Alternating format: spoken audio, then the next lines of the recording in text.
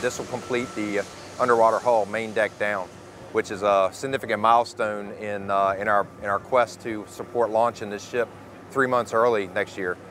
Um, right now, this is, uh, this is about a 760 metric ton superlift, um, comprised of tanks and uh, miscellaneous storerooms and whatnot. So that's what we have going today.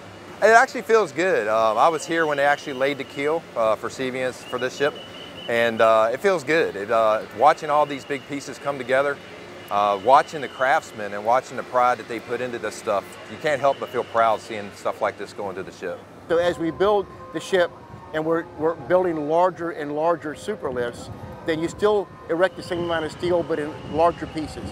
So on CVN 8081, we're going to be down to about 300 to 325 lifts.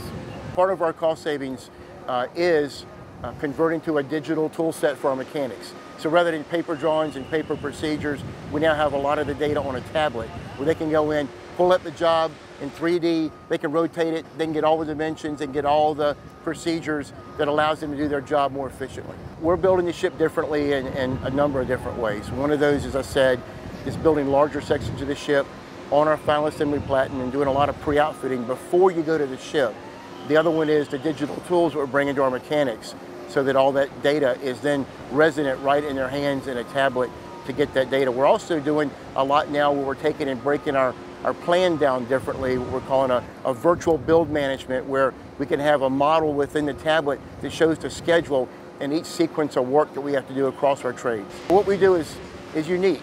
I mean, when I look at our workers, I don't look at welders and fitters and pipe fitters. I look at school teachers, uh, I, I, look at um, their mothers, their fathers, their children. You know, they got a life outside the shipyard of who they really are. When they come in here, they do something nobody else in the world does. And I think everybody's proud of the fact that when we walk through these gates, nobody in the world but us does what we do.